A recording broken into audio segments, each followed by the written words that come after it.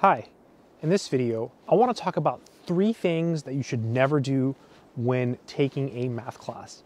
These are things that really, really are not good to do. And if you avoid these three things, I think you're going to do much better in your classes. Also, I should mention that these are things that sometimes people do without even thinking about them. So you might actually be doing these things and you might not know it. The first thing that you should never do is never let the teacher discourage you, okay? So realize that most of the time, I would say, I'm just gonna throw out a number here 95% of the time, teachers really care, right? They teach because they want to do it, they want to be there, they're, they're trying to be helpful. I mean, most teachers really love teaching. So realize that most of the time, if you think that like the teacher doesn't like you or you know, you're going to class and you think, oh, the teacher hates me, most of the time, that's not true. Okay, I find that a lot of people, when they're taking a class, they'll think that like the teacher is out to get them or something like that. That that is not the case. Okay, trust me, um, it's just it's just not the case. Teachers have tons of students, right? So they really, really, really can't hyper focus on a single student and think about, you know, it's just it's not something that is very common. Now, when it does happen, at the same time, you know, if, if your teacher, you feel like they really are discouraging you, don't let it get you down, okay? Because you, you can't let one bad experience, you know, ruin your education and, and your life. You know, so if, if you have a teacher and for some reason you feel that they're bringing you down or, or they don't like you or, or they're not being supportive, it's okay, right? Because you have to make it okay because it's your life, it's your education, it's your life, it's going to be your career.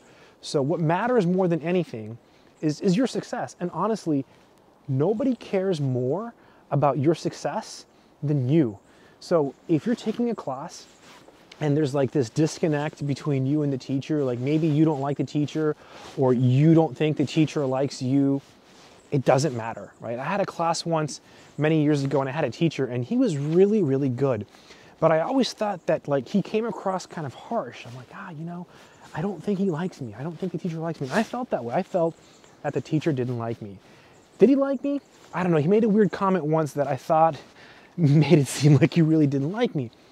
At the same time, though, I told myself, I don't care because who cares what he thinks, right? Because I'm responsible for my own success and you should be responsible for your own success. So don't let that bring you down. The second thing you should never do when taking a math class, and this one is a little bit easier to say than actually do, is don't fall behind. So I'm semi okay at this. I was always like pretty good at staying caught up, but I wasn't like, you know, the top student, like on top of things, you know, always have my homework done. no, right?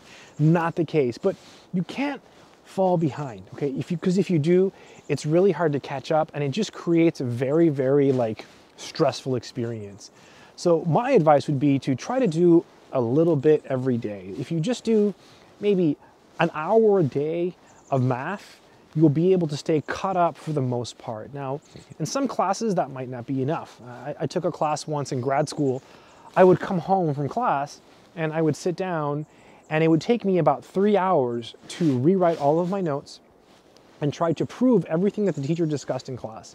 And I honestly was not able to always do it. It was just too much information. I mean, the teacher would go on the board and he would just scribble and talk. I mean, the man was a genius. He passed away a few years ago, but brilliant, right? Brilliant, but it was just too much, right? So a class like that, an hour is not going to cut it. But the point is, be consistent, right? By being consistent, you won't allow yourself to fall behind. And it creates for a better experience for you. It's healthier, right? It's, it's not great to cram, right? Cramming is not great.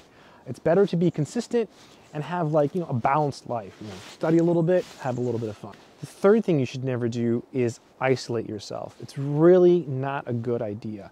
This is something that I did a lot of as both an undergrad and a graduate student. I would isolate myself quite a bit. Um, you know, it's not good. There are a lot of really, really smart people in the world. And if you're an undergrad or a grad, depending on the class you're taking and depending at the school you're at, you might have some really, really intelligent classmates. And if you isolate yourself, you are limiting yourself, right? You're not going to have the opportunity to work with some people like this. I mean, I've met a lot of really, really brilliant people in my life, and I feel like I should have spent more time with those people, learning from them, learning how they study, learning how they do math. Just, it helps to work with other people. Also, if you isolate yourself, you're not going to make friends, right? Sometimes, you know, the people that you meet in college, those are the friends that you're going to have for, for a long time. So it's always better to not isolate yourself. So go out there, make friends, and, and work with your classmates. You know, if you stay up all night and you figure out that key step in the proof and, and you go to the class next day and no one's figured it out, be that person, right? Be that person who, who shares, right? Sharing is caring.